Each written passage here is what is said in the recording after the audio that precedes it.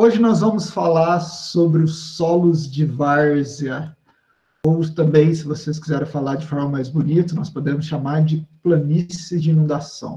Essa é uma foto bem legal, que eu tirei ela em Monte Belo, que ela representa bem que nós vamos falar que essa de cor do, sol, de, do solo, nesse ambiente, que é um ambiente muito vulnerável em termos ambientais. Por que será? Então, primeiramente, nós precisamos conhecer como o que é uma várzea, o que é uma planície de inundação. Observem essa, esse corte de um ambiente de inundação. O que, que nós temos aqui? Nós temos o curso d'água no leito vazante, que eu chamo de leito vazante. No período nosso aqui de junho, em julho, no período mais seco, é onde o rio está correndo. Onde o meu córrego, como diz na zona do rural, o corgo, está lá correndo esse leito vazante. O que acontece nos períodos que chove mais? Desse leito vazante, passa para esse leito menor. Então, observe. O leito vazante e o leito menor acontece todo ano. Sempre quando chove, o meu curso da água aumenta. Então, minha água, eu vou ter uma aguinha aqui. Tá?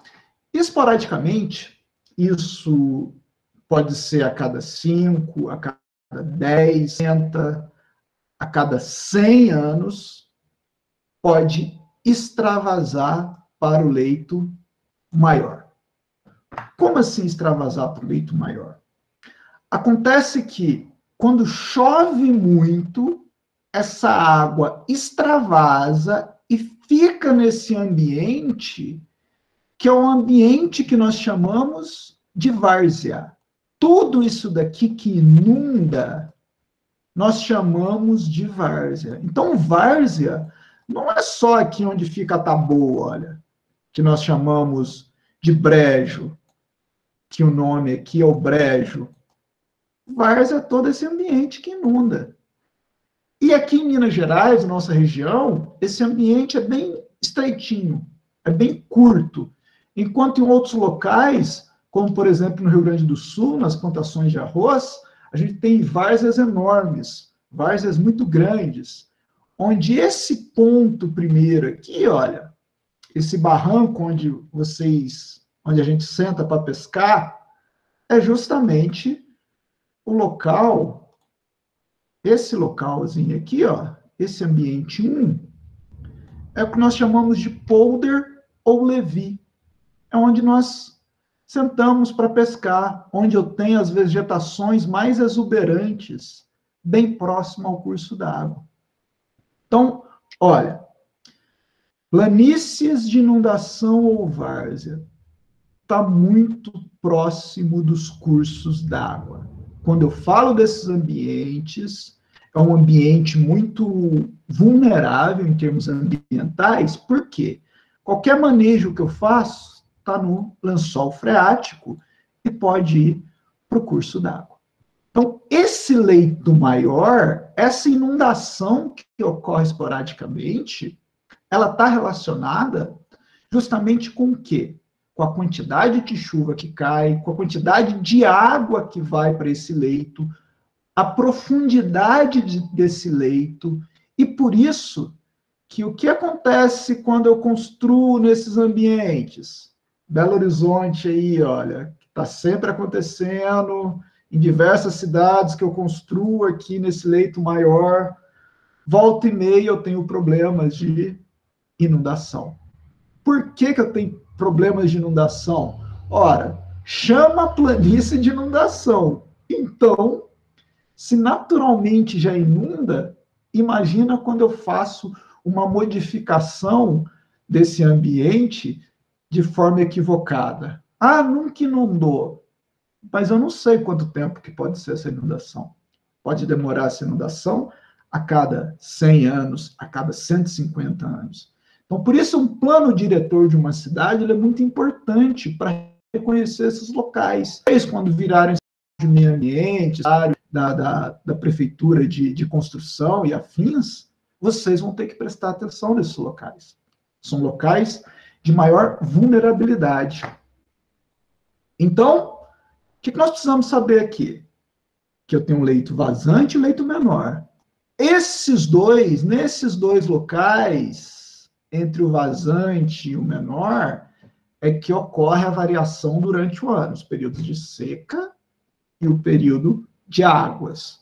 E esse leito maior é quando extravasa, quando eu tenho a inundação. Então, quero que vocês pensem agora comigo quando ocorre a inundação, para a gente já começar discutindo um pouco sobre esse solo. Houve inundação, choveu demais, houve inundação. Lembra que o solo ele tem diferentes tamanhos das frações. Eu tenho a fração areia, a fração silt e a fração argila, que é muito pequena. Então, inundou. Inundou. Choveu demais, foi para o leito maior. Qual fração vai cair primeiro? A areia, o silt ou a argila? Um, dois, três. Quem vai cair primeiro? A areia, o silt ou a argila? Escrevam aí quando isso inunda, a areia mais pesada, bem maior, ela cai primeiro. Então, aqui nesse ponto, eu vou ter solos locais mais arenosos. Quando eu vou fugindo desse ponto 1, que eu chamo de polder ou levi, até chegar nesse ponto 3 aqui, aqui eu vou ter os solos mais arenosos. E o interessante disso, que a areia que cai nesse ambiente não é só areia de quartzo, é areia de feldspato, é areia de olivina, é areia de diversos minerais, de mica. Então não é só quartzo, é uma areia que tem uma diversidade de nutrientes maior.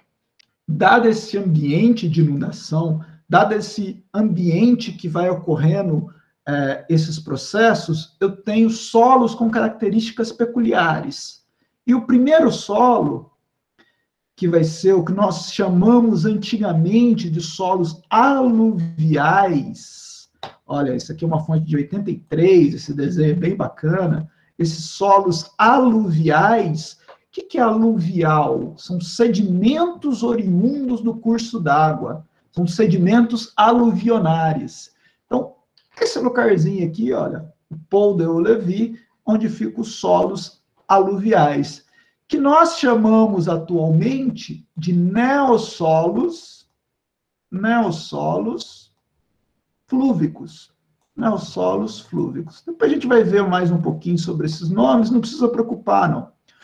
Mais interessante, além de você saber do nome, é você saber das características e qual é a interpretação disso. Então, observe, próximo dos cursos d'água. Vamos falar então, dessa posição número um, aqui está o rio, que eu mostrei para vocês. Nós vamos comentar sobre esse solo da opção número um. Então, nós já sabemos que é um solo mais arenoso. Como que é esse neossolo flúvico? Neossolos flúvicos. Isso aqui é um print do Sistema Brasileiro de Classificação de Solos. Tá? São solos derivados de sedimentos aluviais, aluviais, sedimentos oriundos do curso d'água, com horizonte A sobre camada horizonte C. Como assim? Geralmente, como vai ser esse solo? Eu vou ter lá o horizonte A, o horizonte A, e diversas camadas e diversas camadas de diferentes horizontes C. Horizonte C1, C2, C3, C4 e assim por diante. Vocês estão vendo essa estratificação aqui, olha? É um solo que apresenta um comportamento muito diferente dos outros solos. Lembra que nós comentamos na aula de horizonte, de horizonte A, horizonte B, horizonte C? Geralmente, os nossos solos flúvicos, ele vai ter horizonte A e um monte de camadas com comportamento completamente errático. Eu posso ter no C2 um maior teor de matéria orgânica até do que no horizonte A. Isso por quê? Porque quando teve essa inundação do C2, ele ficou mais tempo recebendo teor de matéria orgânica, ou a vegetação produziu mais teor de matéria orgânica que depois foi soterrada. Então, o comportamento dos neossolos flúvicos, ele não é previsível. Se eu estou amostrando, se eu estou estudando esses locais, esses solos, estou fazendo estudo de, vegetação de solos, de neossolos flúvicos lá com o professor Paulo. Então, o que, que eu tenho que fazer? Falou, Paulo, a gente tem que fazer uma maior amostragem aqui, porque o comportamento desses solos não é previsível. Justamente porque uma bagunça de sedimentos que chega. Mas o que acontece nesses solos? São geralmente solos mais arenosos, que cai uma maior teor de areia. E a vantagem da areia aqui, que eu posso ter nutrientes nessa areia. Então, olha, solos derivados de sedimentos aluviais com horizonte A assente sobre a camada horizonte C e que apresenta caráter flúvico dentro de 150 centímetros a partir da superfície do solo. Essa quantidade de sedimentos. Essa foto do Sistema Brasileiro de Classificação de Solo, essa foto é do artigo que eu deixei para vocês lerem lá, que é bem bacana sobre solos de várzeas de Minas Gerais. Olha essa foto bonita do, do professor Zélio. Olha que interessante a camada, como fica clara aqui essa distinção dos diferentes sedimentos que caíram aqui. Então, eu vejo essa estratificação. Essa foto não ficou boa, eu tirei de um vídeo que eu fiz, que eu estou para editar esse vídeo para deixar lá no canal depois, sobre uma situação em, que, em, em Muzambinho. Olha que interessante. Aqui também eu consigo enxergar, não vou, vocês não vão enxergar nessa foto, mas no vídeo depois vai dar para ver um pouquinho melhor essa estratificação. E justamente aqui, olha, nessa paisagem, se eu separar aqui, onde eu tenho essa vegetação mais exuberante, próximo do curso d'água, é onde eu tenho o neossolo flúvico. É um ambiente mais fértil da minha paisagem. Em termos de fertilidade natural em uma paisagem, principalmente aqui para a gente, é um dos ambientes mais férteis. Por que, que é um ambiente fértil? A primeira agricultura, as primeiras agriculturas, tem uma parte do livro do Sapiens, que eu vou colocar aqui depois nessa aula, que, que ele justamente comenta isso, que dá para a gente fazer um, um, uma descrição do ambiente, que é um neossolo flúvico, justamente por esses sedimentos. Porque cada inundação que ocorre, eu tenho uma fertilização do meu local, eu tenho uma fertilização do ambiente. Mas quais são as limitações de utilizar isso para a agricultura? Vamos pensar agora comigo. Qual é a limitação de usar esse local para a agricultura? Deixa eu voltar. Essas áreas são áreas de preservação permanente. Agora, elas são áreas de preservação permanente porque é à toa? Lá eu resolvi. Então, tem um rio aqui e eu tenho no mínimo 30 metros ao redor do rio. Tem que criar aqui, ó, no mínimo 30 metros ao redor do rio. É uma área de preservação permanente. É, qual que é a limitação disso? Primeiramente, uma limitação legal. Eu não posso utilizar essa área, já foi muito utilizado esses ambientes, eu não posso utilizar porque são solos mais arenosos. Quando eu jogo um fertilizante, quando eu jogo um agroquímico, um agrotóxico aqui, está diretamente pertinho da água. Então, vai direto para a água. Não dá tempo de acontecer a quebra das moléculas é, antes de chegar no curso d'água. Diferentemente de um local mais longe, pensa se eu planto aqui. Quando eu planto aqui, meu contaminante tem um caminho longo para chegar no curso d'água. E ele pode ficar retido, a microbiota do solo, a microbiota do solo vai lá e vai destruir aquela molécula e não vai contaminar diretamente a água. Então, é um solo mais arenoso. lembrando da aula de textura, ele não retém muita água. O contaminante vai passar rapidamente. E por que, que é uma área de preservação? Além dessa contaminação do cursos d'água, se eu tiro a vegetação natural e se eu começo a revolver esse solo, ele começa a erodir e a cair material dentro do curso d'água. Dentro do curso d'água. Então, pensem comigo. Pensem comigo. Se eu começo a ter muita erosão, aqui começa a ganhar mais sedimentos. Começa a ganhar mais sedimentos. Começa a ganhar mais sedimentos. Vai chegar um ponto que aquela inundação que era a cada 10 anos, a cada 15 anos, vai começar a ser anualmente. O meu leito menor vai, na verdade, extravasar aqui. Eu vou ter mais inundações nesse local. Então, por que também é uma área de preservação?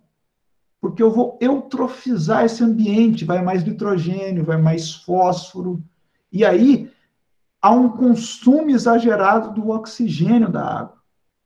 Fica um ambiente inóspito também. Então, a área de preservação permanente próxima dos cursos d'água, ela é para evitar erosão e para evitar contaminação. Mas, pensando nesses locais, como os locais de maior fertilidade natural de um ambiente, eu posso utilizar dentro da legislação. Como? Eu posso fazer plantios de, de árvores frutíferas espaçadas, pensando numa população ribeirinha, eu posso fazer um manejo, talvez lá, de apicultura, algumas árvores onde eu posso ter uma certa renda dentro desse ambiente.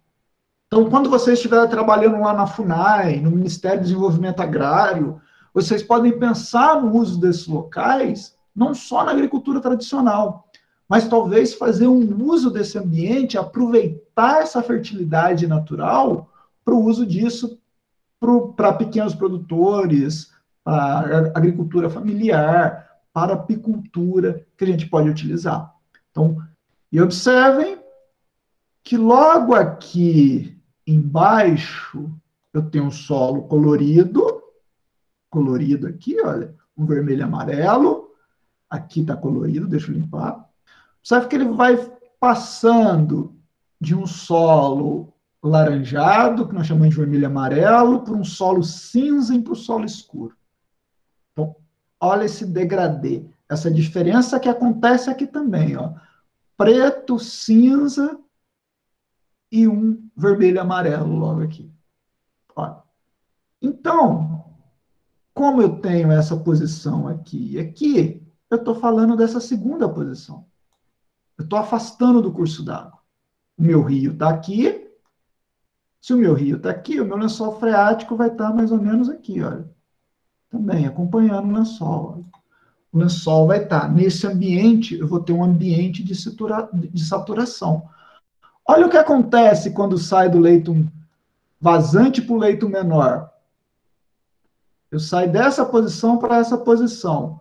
Olha o que acontece com o lençol. O lençol também vai aumentar. O lençol sobe. O que, que vai acontecer quando seca? O lençol ele vai voltar para cá.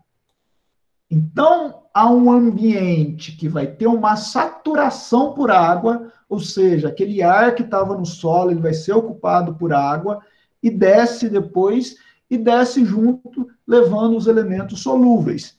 Desses elementos solúveis, quem lembra da aula de cor do solo? Qual elemento que quando reduz fica solúvel e desce junto?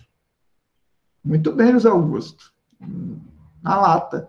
Justamente o ferro. Então, o ferro 3 mais reduz para ferro 2 mais. Esse ferro 2 mais, ele tem um raio iônico maior. Além de ter um raio iônico maior, ele desestrutura ali os óxidos de ferro. Aí nós temos que chamamos de gleisolos. Gleisolos que, que são gleisolos? Alguns grifos aqui, olha. Horizonte glei. iniciando-se dentro dos primeiros 50 centímetros. Horizonte Gley, gente, o que é um horizonte Gley? É um horizonte caracterizado por redução do ferro. Reduz o ferro. O que é reduzir o ferro? É receber elétron. O ferro 3 passa para ferro 2 recebendo um elétron. E de onde vem esse elétron? Esse elétron vem justamente das atividades dos organismos, que vão liberar essa energia, vão liberar esse elétron. Se não tem oxigênio, quem vai capturar ele? Tem o manganês, tem outros, mas quem vai capturar? O ferro. De 3 mais passa para 2 mais. Devido principalmente à água estagnada. A água sobe, fica estagnada, depois, quando ela desce, leva embora esses elementos mais é, que dão cor solo. Tá? Então, esse é o horizonte Gley. Observem nessa foto, essa foto também é aqui de Muzambinho, acho que é perto, próximo até do Molaria. Olha aqui essa faixa. Quem assistiu aquela aula de, de gleisolos, que eu dei de solos hidromórficos, que eu gravei lá no canal, tem falando aqui, ó, uma foto que eu tirei lá. Olha o que acontece aqui. Tá vendo que perdeu a cor? Por quê? Logo aqui embaixo eu tenho um curso d'água. Aqui a água sobe. Há um processo de gleisação, de redução. Desce. Quando ela desce, ela leva embora o ferro. E olha que aqui em cima eu tenho um solo mais colorido. Olha, vai embora só o ferro? Não, se eu tiver um contaminante aqui qualquer, solúvel, também vai embora. Se eu jogo nitrogênio, nitrogênio, potássio como fertilizantes, que eles são solúveis, eles vão embora facilmente. Por isso que eu parcelo quando eu vou fertilizar com nitrogênio, com potássio, eu tenho que parcelar, porque ele é perdido facilmente. Então, se eu jogo um excesso de nitrogênio nesse local, ele vai descer rapidamente para o curso d'água, eutrofizando o meu curso d'água. Então, essa foto que eu tirei também em Muzambinho, ambiente de várzea, geralmente dá para a gente observar essas cores. É, vocês podem tirar foto, viu, gente? mandar para gente quando vocês viram um negócio desse. Então, tá aqui, olha, dá para a gente ver no, novamente melhor essa variação, perde essa cor, fica um solo, nós chamamos solo anêmico, porque perdeu a cor. Então, em alguns locais com solo, talvez vocês já tenham, já tenham visto isso, vou colocar uma situação que a gente controla no Espírito Santo. Era um ambiente alto, era um ambiente elevado que tinha um gleissol. Vou desenhar aqui, olha. Era uma parte alta e tinha uma concavidade, uma sutil concavidade. E essa sutil concavidade, quando chovia, fazia a água ir para esse local. Ao invés de ir para o curso d'água normal, estava o rio aqui, a água aqui ia para esse canto. E nesse local tinha um acúmulo de água. Depois de 30 centímetros, o solo ficou cinza. E os eucaliptos, aqui estavam todos bonitos. Um eucalipto bonito aqui. E aqui os eucaliptos não foram para frente. Justamente por excesso de água. Então, te... nesse caso, eu faço camalhões. Eu elevo essa, essa terra eu jogo solo para cá. Eu jogo solo para cá. Para ficar mais longe do curso d'água. Do curso d'água, não. Do lençol freático. E faço plantio aqui. Ganhando pelo menos aí mais uns 20, 30 centímetros para a raiz crescer. E aí, então, mesmo se tiver um excesso de água, eu tenho uma quantidade de raiz aqui para cima para sobreviver. Então, é esse ambiente Aqui, olha, é o que nós chamamos de gleissolo áplico. Gleissolo áplico é esse cinza. É interessante vocês observarem isso em cupins. Às vezes, a gente viajando, a gente observa a beira da, da, da estrada, os cupinhos cinza, que eles vão mudando de cor. E aqui embaixo é um tipo de gleissolo também que passa por esse processo. Aqui é um G, tá, gente? Vocês imaginem um G aí, que é um gleissolo melânico, que é melanina, lembra de melanina. Então, é um gleissolo mais escuro. Mais escuro por quê? Porque eu vou ter mais matéria orgânica.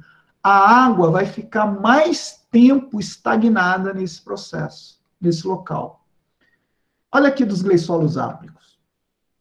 Olha essa foto aqui do Sérgio Henrique na posição do professor Sérgio. Nós temos justamente uma parte de horizonte A, até um Bzinho de merda aqui, e depois a gente tem um horizonte cinza, um horizonte glei. Aqui é um outro tipo de glei, de glei solo, que não fixa, mas fica com ponteados vermelhos. Porque o ferro, quando ele está descendo, ele contra um oxigênio e volta a ser vermelho, e volta a ser mais cromático. Tem aqui, olha, ponteações mais vermelhas. É que o solo encontra o oxigênio e fica avermelhado. É sinal esses mosqueados também desse processo.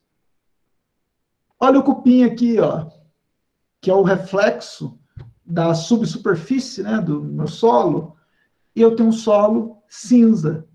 Cinza Nesse caso, olha o chão aqui, ó. Nesse caso, não tem nem esse, esse pontinhozinho aqui de, de solo mais colorido.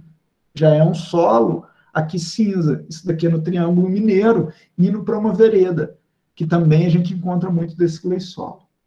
Então, nós temos essa situação nesses ambientes.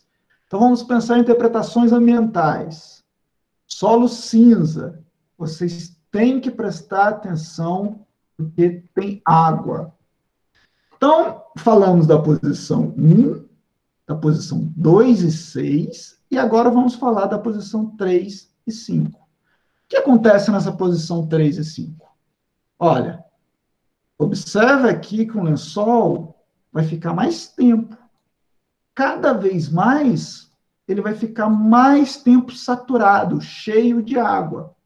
Então, na posição 3 e 5, eu vou ter solos mais escuros, como gleissolo melânico, que lembra melanina. Olha aqui, José Augusto, será que é um gleissolo melânico que você tem aí? Olha, a gente tem essa situação de um solo, inclusive com esse horizonte H, que é um horizonte muito rico em matéria orgânica, e aqui embaixo tenho um horizonte branco, totalmente gleizado, uma situação gleizada. Então, pode ser um gleissolo melânico, porque essa distribuição de 1, 2, 3, 4 é uma distribuição ah, típica, mas eu posso ter situações que eu tenho 1 e já pula de quase direto para o 4, que eu tenho 1 e já pulo para o 3, e não vou ter essa distribuição. Então, o gleissolo melânico, gente, ele vai estar associado nessa parte nessa parte aqui mais baixa. Olha, estão vendo aqui um solo mais escuro. Olha o degradê que eu tenho. De cinza passando para um solo mais escuro. Aqui é o gleissolo melânico. Melânico, mais escuro, mais matéria orgânica. E o que está relacionado a essa matéria orgânica também em termos ambientais? De sequestro de carbono. Sequestro de carbono. Nós vamos discutir o porquê que vai ter mais carbono nesse local, mais matéria orgânica nesse local. O que, que tentou representar essas imagenzinhas aí? O que está tentando representar? Muito bem. Mas tá boa. Então, é o ambiente aqui, nós chamamos do brejo. Brejo. Olhem aqui como se eu penso no meu lençol freático, aqui vai estar constantemente saturado, um ambiente mais saturado. Nessa situação, eu tenho um ambiente mais saturado. Olha aqui onde eu vou ter a saturação por água. Então, esse ambiente, esse ambiente 4 é um ambiente de brejo. Olha o que acontece. Aqui foi da minha tese, olha, da minha dissertação. Olha como estava bem encaixado esse curso da água aqui. Olha como estava bem encaixado. Olha o organossolo. Aqui é a água. Aqui foi no Rio Grande do Sul, de organossolo. Olha a profundidade que eu tenho desse horizonte H. Aqui tem um metro e meio. Olha a cor desse horizonte. Esse daqui é de um organossolo.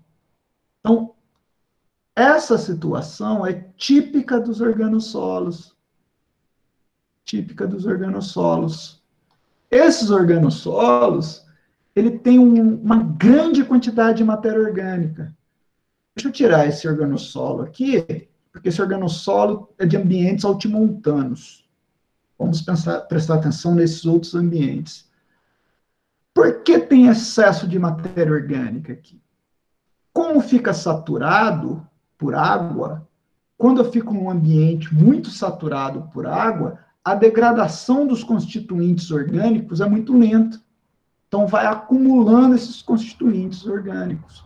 Por quê? Os organismos que estão lá, eles não utilizam muito oxigênio. Por quê? Porque não tem muito oxigênio, são organismos anaeróbicos. Então, a atividade é muito mais lenta. Tanto é que, quando eu faço a drenagem desse solo, para uma construção, por exemplo, pode acontecer a subsidiência. Como assim? os micro-organismos começaram a degradar tanto essa matéria orgânica que o solo que estava aqui nessa altitude, ele começa a descer, ele começa a descer. Há uma subsidiência, demonstrando, inclusive, parte do material que eu utilizei para a construção aqui, quando eu dreno esses, esses locais de, de organossolo. Pensem comigo a quantidade de carbono que eu estou guardando nesse um metro e meio de solo. Um solo desse deve ter 25%, 30% de matéria orgânica. Olha quanto de carbono que eu estou guardando num ambiente desse. Essa, essa foto aqui do Sérgio Henrique. Eu não sei onde que é, mas bonito esse solo. Olha nosso solo, que bonito. Olha a profundidade disso. Olha a cor que está dando o uso desse solo? Muito limitado, né, gente? É um ambiente que você está praticamente com água. Aqui, talvez aquela cavalinha, né? Para você secar e vender na feira como chá para cálculo renal. A cavalinha desses ambientes inundados. Aí você seca ela, para quem tem pedra nos rins, é bom para fazer um chá para tomar com cavalinho. É um ambiente muito vulnerável. Então, vocês têm que prestar atenção nisso dentro de um pensamento de tomada de decisão ambiental. Isso dentro de uma cidade. Dentro de uma cidade, inclusive. Então, os organossolos, uma grande quantidade de material orgânico. Por isso que chama organossolo. Aí tem algumas características, olha, mas para gente, ó, material orgânico, saturação por água, saturação por água, que mostra como que é esse organossolo. Então, esses ambientes são ambientes muito vulneráveis. Além disso, eles são ambientes que têm um tampão, é um amortecimento para a água. São esses locais, quando eu mantenho ele vegetado, quando eu mantenho ele é, sem estar compactado, é que a água fica nesse sistema, que a água segura. Então, quando eu mantenho vegetação, o que acontece no ambiente? Quando eu faço esses procedimentos de manter vegetação, de preservar APP, eu estou preservando água. Porque a água fica mais tempo no sistema, ela não sai. Quando eu tiro a mata, se eu tiro toda essa mata, se eu faço todo o uso aqui, a água rapidamente vai para o curso da água. Quando eu tenho uma vegetação, essa água ela vai cair, ela vai infiltrar, o solo vai servir como uma esponja que vai paulatinamente liberando essa água para o meu sistema. Das veredas. Típico dos cerrados. Qual, qual que é essa árvore? Buriti. Típico das veredas, que são locais muito importantes onde vai o curso da água no cerrado. E aqui é um amortecimento para essa água. Essa água ela vai devagar para os cursos d'água, para os rios, por isso que é importante mantê-las preservadas. E a distribuição desses locais é muito parecido com as nossas várzeas, com as nossas planícies de inundação. Aqui eu vou ter, aqui para baixo eu vou ter o gleissolo melânico até o organossolo, e para cima eu vou ter os gleissolos áplicos, o gleissolo melânico. É essa distribuição. Como que eu verifico isso? Eu verifico por meio do atributo morfológico da cor. E nós conseguimos modelar bem a paisagem também nesses locais por meio de dados de sensoriamento remoto. E aqui eu identifico essas áreas. Então, quando eu penso nessa situação, exemplo de como não fazer slide, tá? Que eu só dei o print no livro lá. Então, aumento em do 1 para o 4. Pensando aqui, ó, do 1 para o 4. Eu tenho aumento do teor de matéria orgânica, porque mais água, menos oxigênio, e com isso eu vou ter deficiência de arejamento, deficiência de ar. A atividade do microorganismo vai ser muito mais baixa. Altura relativa do nível. Como assim? A água não vai oscilar tanto do lençol. A água não oscila tanto em termos do lençol. Eu vou ter um aumento de absorção de pesticidas, porque aqui eu vou ter uma maior quantidade de argila e matéria orgânica são colóides que retêm esses, esses pesticidas. Aqui é mais arenoso. A água passa rapidamente. Previsibilidade das propriedades. Olha, o 4 eu sei que vai ter muita matéria orgânica e o solo mais argiloso. Justamente por causa da gênese, por causa da formação desse local. Então, esses ambientes são extremamente vulneráveis.